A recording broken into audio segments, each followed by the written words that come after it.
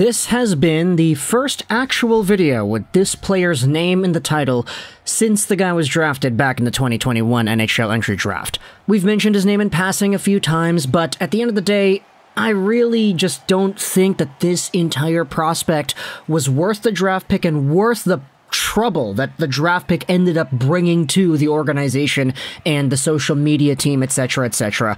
Because today I wanted to go back into 2021 and review the Montreal Canadiens' 31st overall pick, a guy that they took at the end of the first round, and a player that was very polarizing as a draft prospect. At the end of last year's first round, the Canadiens selected Logan Mailloux out of the London Knights in the OHL, or I guess you should probably say SK Lejon in the Hockey Ettan in the Swedish league because the OHL was shut down in 2020-2021. But Logan Mailloux was a guy that the Canadians took, and it was a pretty interesting pick. Not only because Logan Mailloux was a big right-handed defenseman, that in which the Canadians didn't really have too much of, because, you know, the departure of Shea Weber, they hadn't made the Artturi Lehkonen and Justin Barron trade just yet, so the right-hand defenseman depth on the Canadians was pretty lackluster. Not to mention the fact that in 19 games in the Ettan he had 15 points, and not to mention the fact that some people thought that Mailloux probably should have been taken a little bit later. He was ranked to go 35th by TSN and Bob McKenzie, 58th by McKeen's, and 50th by TSN and Craig Button, but the Canadians took him 31st. But the biggest and most damning part of it all was the fact that Logan Mailloux himself said that he did not want to be drafted. This was because in Sweden he was convicted of a criminal charge that in which I don't want to talk about. It's been discussed, and if you want to know what happened, hey, go ahead and check out the video that we made when the guy was drafted. But this was a player that at the end of the day, some people said could have been maybe a first round pick. Others said he probably should have been a second round guy. He said himself he didn't want to be drafted, and the Montreal Canadiens had to come out there and make statement after statement about how they're going to go out there and help this guy and they want to help him reform and become a positive contributing part of society, and that's all good to hear. You like to see the Canadiens fighting the good fight. But at the end of the day, my question to you here is that really worth it? When you acknowledge how good the player was in general, when you acknowledge what happened as a result of the player's criminal conviction, and when you acknowledge who else was on the board at that 31st overall spot. The reason I'm making this video is because when Logan Mailloux was drafted, the split second when the Canadian said Logan, my mind, and you could see this in the draft video too, I immediately went, Stankoven? Stankoven? Stankoven? Because there was another prospect available in this range that I thought the Montreal Canadiens would probably go out there and see tremendous gains out of had they drafted him in that spot.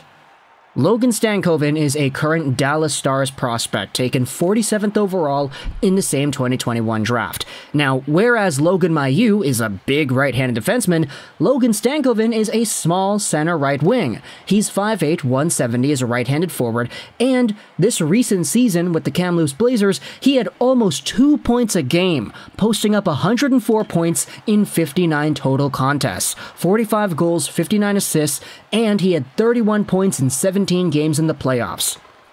He also just suited up for Team Canada at the World Juniors in August here, and if you had been watching the tournament, especially towards the end, you would have seen Logan Stankoven and his entire line just completely go out there and start to take over shifts, dominate the play, and they really just started taking control. Whereas the Mason McTavish line, while they were all very good the entire tournament as well, they started taking a little bit more of a checking role towards the latter two end parts of the tournament. Stankoven and his boys went out there and scored a heck of a lot of points.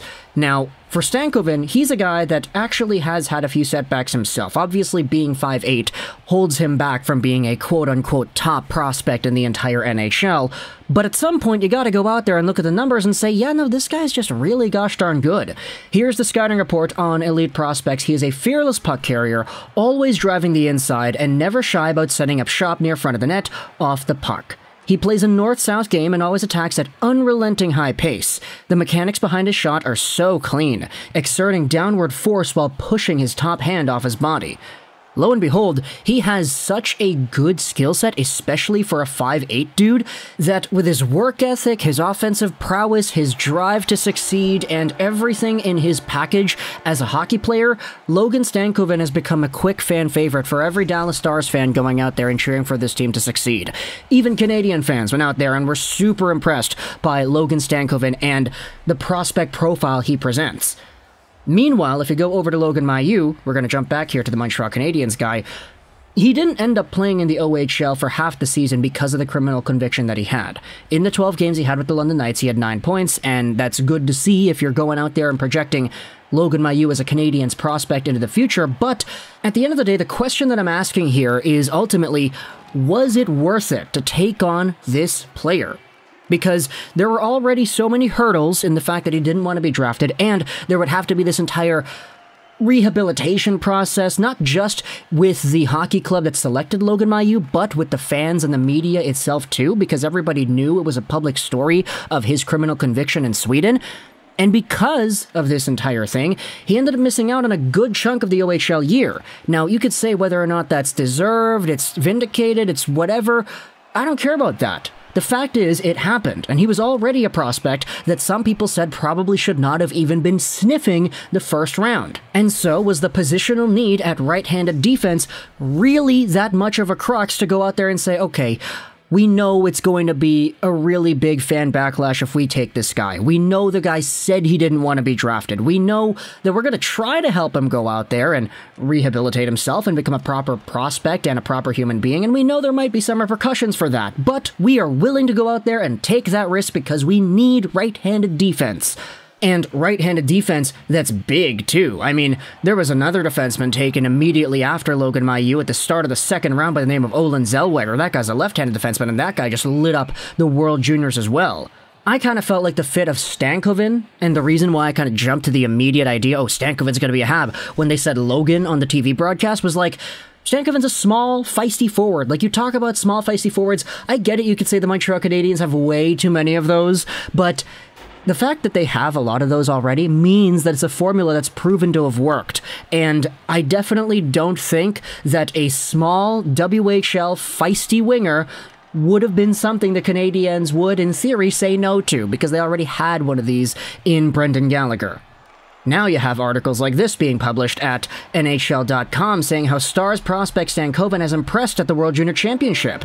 The forward helps Canada win the tournament after being named the WHL Player of the Year. He also was named the top player or a top player on Team Canada named by the coaches themselves. Not to mention his assist, his very good game breaking assist on the golden goal scored by Kent Johnson in the overtime game against Finland. He was the guy who got the puck to the middle, and Johnson was able to put it in. That's that relentless pressure that Logan Stankoven goes out there, and I was always a huge fan of Stankoven, and I'm super biased. Like, I'm not going to go out there and deny that. But there's a reason why I wanted these qualities on a prospect that if he was in the Canadian system right now, he would probably be the second most valuable guy behind Uri Slafkovsky. Meanwhile, for Mailloux, there's still the court of public reputation that he still has to go out there and win, and as a result, I don't think he's ever going to get that back. Like, I understand the Canadians are going out there and they're trying to help him out, and the OHL had their own say in it as well, but still, even if you remove all of the crap that Logan Mailloux had been a part of in his draft season, even if everything was 100% vindicated and forgiven, which I don't think is really going to be possible in the short term future, even if you remove all that, him as a hockey player and him as a prospect, I still think that Logan Stankoven was a better player, man. And that's the point I'm trying to make. Somebody went out there and posted, I believe it was on Twitter. This is all just from my own recollection. I don't know if it's like 100% legit or whatever, but like somebody posted on Twitter a screenshot of them Instagram DMing Logan Stankoven because apparently the guy goes out there and replies quite often to people who DM him. And the person was like, hey, great performance at the World Juniors. I would have loved to have you on the Habs. And apparently, just what I remember in my head, which might not be correct, but might be the case if I'm remembering things properly, Stankoven replied, hey, thanks. But yeah, the Canadians wanted the other Logan instead. And I was like, yeah, that's wild. I had the same thought too back when the draft pick was made. But either way, talk to the comments on your thoughts about Logan Mailloux and Logan Stankoven. There have been many conversations about the future of the Canadiens' right-handed defenseman depth, and with players like Miguel Tourigny, with players like I don't know, Justin Barron entering the picture, all of a sudden the right hand defenseman depth does not seem as bad as it was when the Canadiens made the Mailloux pick. Mailloux himself, of course, adds to that, but there's still going to be a conversation that Kent Hughes and Jeff Gorton have to make when it comes to the future of this guy, whether or not they resign him, etc., etc. But like, I don't know. We'll get there when we get there. Talk in the comments your thoughts about Stankoven versus Mailloux and whether or not the Canadians made the right pick. I hope you enjoyed this video. 99. And bye.